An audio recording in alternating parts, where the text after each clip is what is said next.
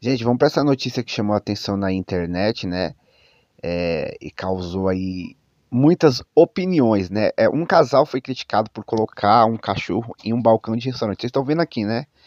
É, e aí a notícia chamou a atenção. Isso, esse, esse caso aconteceu aqui na Austrália, né? Um jovem casal foi comer e colocou seu cachorrinho ali na, no balcão, onde geralmente as pessoas colocam alimento. E é óbvio que isso gerou repercussão, né? Muitas pessoas que estavam no restaurante não gostou da, da situação, falando que ali não é local para se colocar um cachorro, porque as pessoas comem ali, né? E outras pessoas é, acreditavam que isso não é, era nada demais, porque segundo essas pessoas o animal provavelmente era um animal bem limpinho, que estava bem cuidado, que não ia gerar esse tipo de preocupação.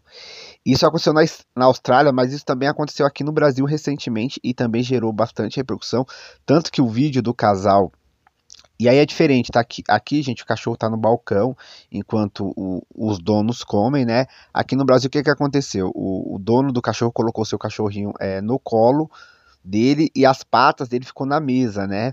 E os dois casos repercutiram na rede social. Tanto que esse vídeo aqui do, do, do, do, casal brasileiro teve quase 10 milhões de visualização, né? Mas muita gente ficou incomodada, né? É, e aí quando, quando cai na internet, né, vem os comentários, né?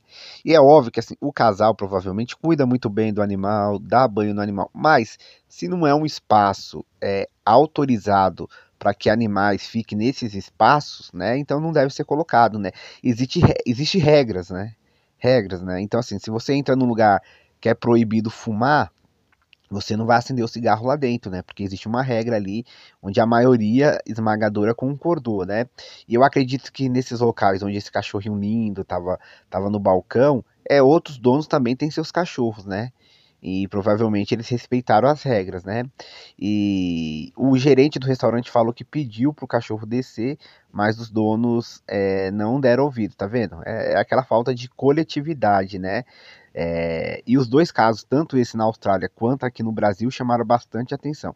Muita gente criticou, fala que não é algo é, saudável no sentido de limpeza, higiene, né?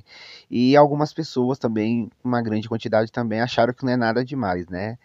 Eu quero saber a opinião de vocês. O que, é que vocês acham? Eu acho que é questão de, de, de, regra e do estabelecimento. Se o estabelecimento é, concorda, se diz que pode colocar o um animal, ou tem ambientes para o animal ficar enquanto o dono come ali perto, beleza. Mas se é proibido, né? É, tem que respeitar, né? Então, isso aí chamou a atenção.